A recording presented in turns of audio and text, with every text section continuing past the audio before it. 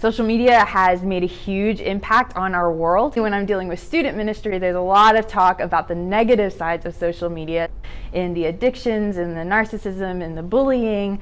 Um, so why as a church do we want to be a part of the social media? And the truth is that social media at the end of the day is just a tool and that can be used for very good things or it can be used for not so great things. And so at the church we want to recognize this part of our culture, recognize that this is where people are at. People are on their phones looking at Instagram, looking at Facebook, looking at Twitter.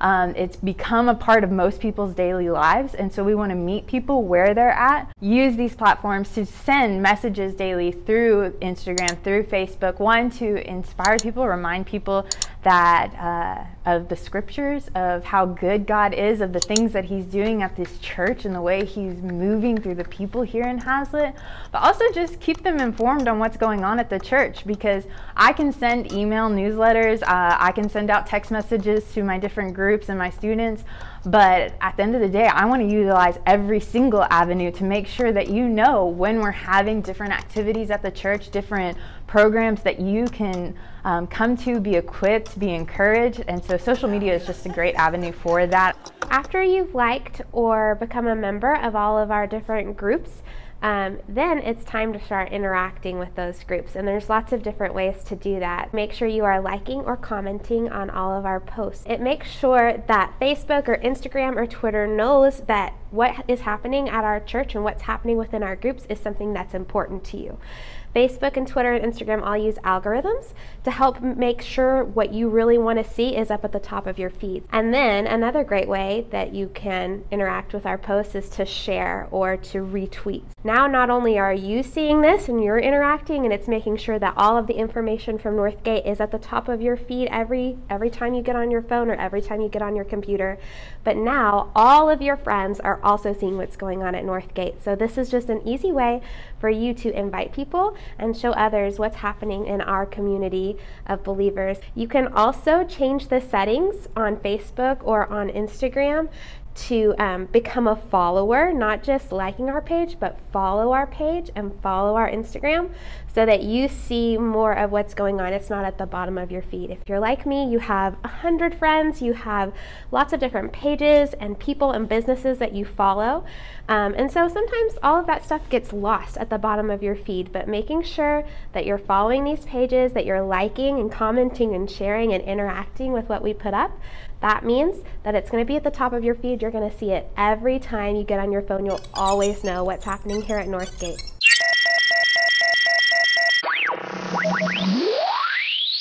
Hey, Northgate Church, even I can see you all the way from New York City.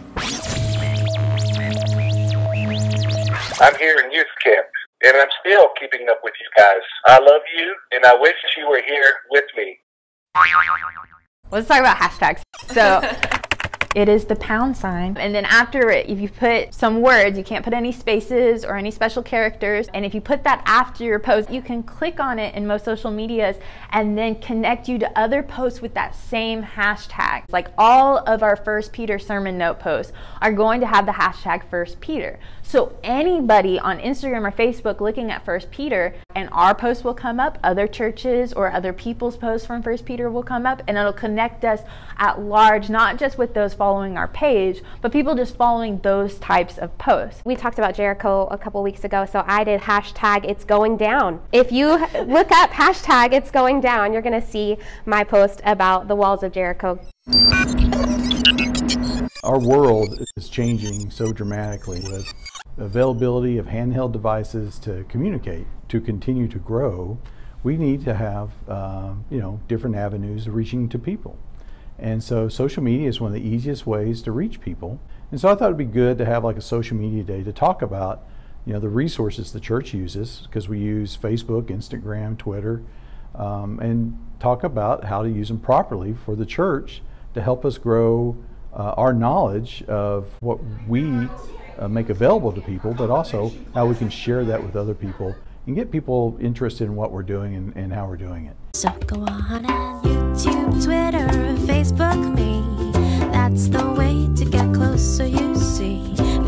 to be strangers, but now that won't be if you subscribe.